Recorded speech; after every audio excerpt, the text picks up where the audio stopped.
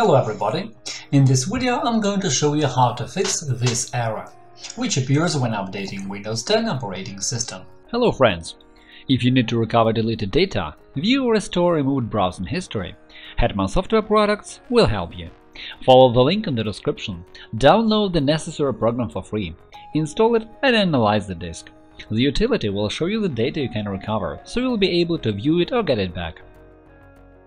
In our channel and blog you will find solutions to any problem, from installing an operating system or configuring it to fixing possible bugs and errors or optimizing mobile gadgets. Our specialists will answer any questions you ask in your comments under the videos or articles. There are several causes behind this error. Problems with the internet connection or DNS service crash, driver failures in some of the system components, viruses, connections blocked by a firewall or the antivirus software, or incorrect functioning of network equipment. As you can see, there is a sufficient number of things to cause the trouble, but don't worry, we have several effective methods at hand to fix the error. The first thing to do is to check if you really have internet access at the moment. There might be poor contact of the network cable connector or the network adapter, so have a closer look at them and make sure all connectors and cables stick firmly in their sockets. Restart the computer and the router. Disconnect all peripheral equipment such as USB drives, cameras, printers and the like from the computer. After each step, try updating the system. Also, there can be faults in providing the IP address. Compare the current IP address data with the data from your internet provider. To do it, open the Run window by pressing Windows plus R key shortcut and run the command ncpa cpl. Then right-click on the network connection and select Properties. go to IPv4 and check if the entered data is correct or try to obtain an IP address automatically. If the network data is set in the router itself, you need to check these router settings, and there is a video in our channel to watch and see how to do it properly. Find the link in the description. Another thing to help you is using alternate DNS. For this purpose, set the preferred DNS server value as 8888 for alternate DNS server 8844. If the network connection is alright, try using the Troubleshoot utility. Go to Settings, Update and Security, Troubleshoot, find Windows Update and click on Run the Troubleshooter. The system will start searching for errors and fixing them. When the process is over, you'll be offered to choose from several actions. Try disabling the antivirus and the firewall for the period of updating. Another cause to trigger this error when updating the operating system can be an outdated graphics driver or a driver for any other system component. Try updating it. You can watch one of our videos to see how to do it properly. The link is below the video as before. You can learn your graphics card model from the Run window by pressing Windows plus R key shortcut and typing MSInfo32 Components Display. You can watch another video on our channel to see how to do it properly and you can find all the links below. Use only official websites to, to update drivers. After they are updated, you should restart the computer. It's also worth updating drivers for other system components too.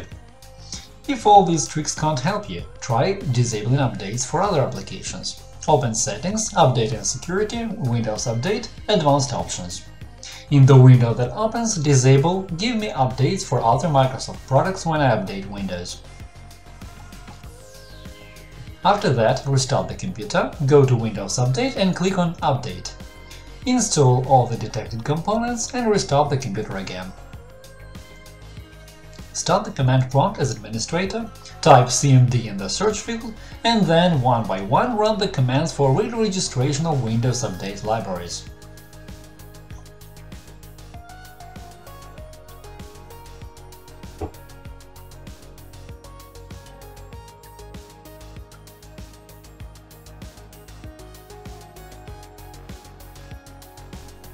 Enable update for other products and see if there are any errors now.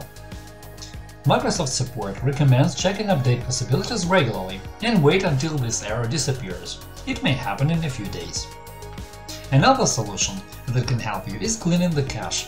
To do it, delete all contents from the folder Software Distribution, which you can find inside the Windows folder on your system drive. Open it, select everything and click on Delete. Some files cannot be deleted that way because they are used by the operating system, so in that case just click Skip.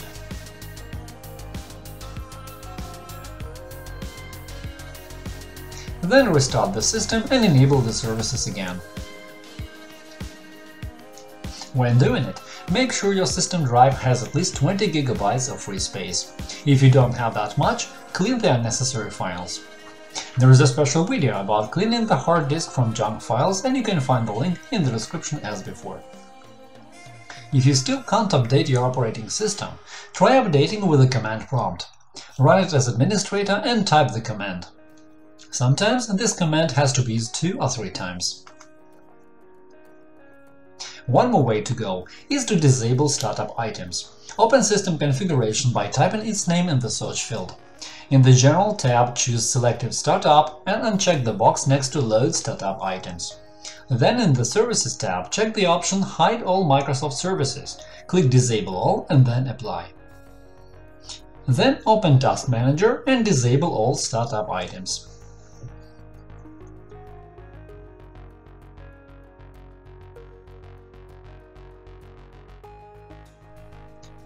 Restart the computer and try updating Windows again.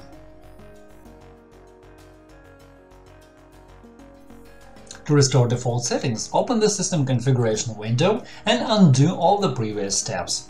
In Task Manager, enable Startup for applications. Also, you can use Microsoft official website to update your Windows. To do it, open the web page Download Windows 10 find the link below, and click on Update now to start downloading Windows 10 Upgrade. Open this utility and try updating your operating system. Otherwise, you can download a utility to create an installation media, which you can see below in this website. Open it and choose Update now. If all these methods haven't helped you, your last option is to run system recovery or reset the computer. You can watch one of our videos to see how to do it properly and you can find all the links in the description below. Now, that is all for now. Hit the like button and subscribe to our channel. Leave comments to ask questions, thank you for watching and good luck!